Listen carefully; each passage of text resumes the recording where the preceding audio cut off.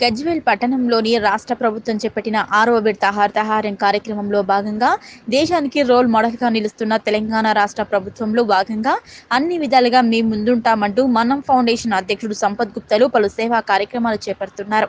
ఈ సందర్భంగా ఆరవ విడత హరితహారంలో భాగంగా మనం ఫౌండేషన్ ముందుకు వచ్చి ఎడ్యుకేషన్ హబ్ వద్ద పది మొక్కలు నాటడం జరిగింది.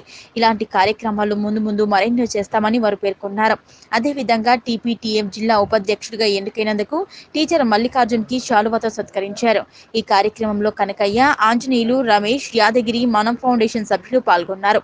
మనం ఏంటంటే బాగా వాతావరణం అనేది కలుషితమైనది. చెట్టు నరకడం వల్ల వాతావరణం వేడెక్కి మనకు వర్షాలు పడడం లేదు. చెట్టు నాటడం వల్ల వర్షాలు కురుస్తాయి సమృద్ధిగా పంటలు పండుతాయి. కాబట్టి మనం ఫౌండేషన్ తరఫున ఈరోజు హరితహారంలో భాగంగా మాకు గ్రీన్ హౌస్తో చెట్లు నా- పది చెట్లు నాటడం జరిగింది. మనం ఫౌండేషన్ తరఫున ఒక రెండు చెట్లు నాటడం జరిగింది. మరియు తర్వాత కూడా మేము ఇంకో పది చెట్లు నాటాలని అనుకుంటున్నాం.